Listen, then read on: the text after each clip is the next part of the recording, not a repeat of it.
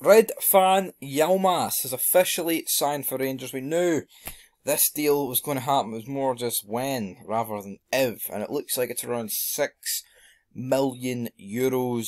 Uh, I think it's a good deal. He's 21, bright future ahead of him. It is from Besiktas, so it's looking around. Of course, it was in euros, so it's looking around.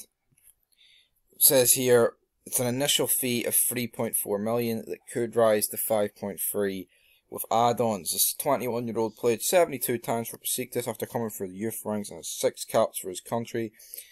He said, I've heard so much about the Rangers and cannot wait to play in front of them. I'm delighted to be joining the club the size of Rangers. I'm really looking forward to meeting my new teammates.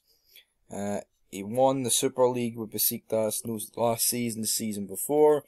And of course, he's been brought in a void uh, Calvin Bassey created. And of course, we brought in Ben Davies and we brought in John Souttar, but we have lost Balogun and Bassey, you know, at the back. So, have we improved?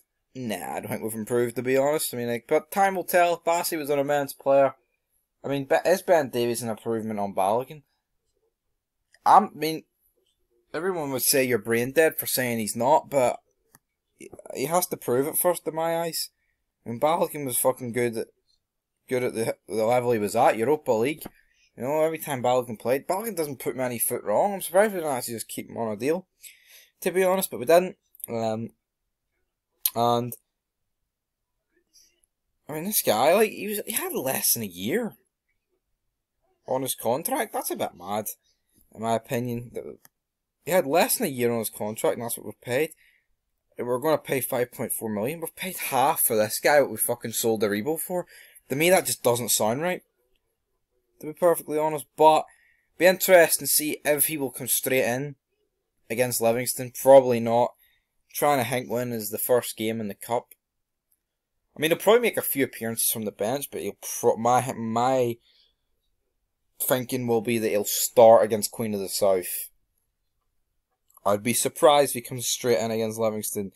You know, even though Barisic was a bit shaky against Tottenham, you know, um, I don't think Gio will wing him straight in there. But, of course, we heard in previous weeks that Gio said that Yilmaz here is the last piece of the puzzle. But some guy commented my feed with a very valid point. There is nothing worse when you get to the end of a jigsaw and there's a few pieces missing. Exactly. Is that is that us completed? Is that us sorted to win the league? Get into the Champions League group stages I'm not completely convinced, you know, because I think there's probably going to be some more outgoings as well. Um, in other news though, Tav has agreed to 2026, so that's a very good deal. But uh, yeah, leave your thoughts down below. Is that us done, or do you think they're just talking shit? I mean, there's no reason really to talk shit. I mean, because people love transfer talk. I love transfer talk, but I mean, the window isn't over for like another 38 days. And here we are on the 25th of July saying we're done. Come on, Rangers. What's going on?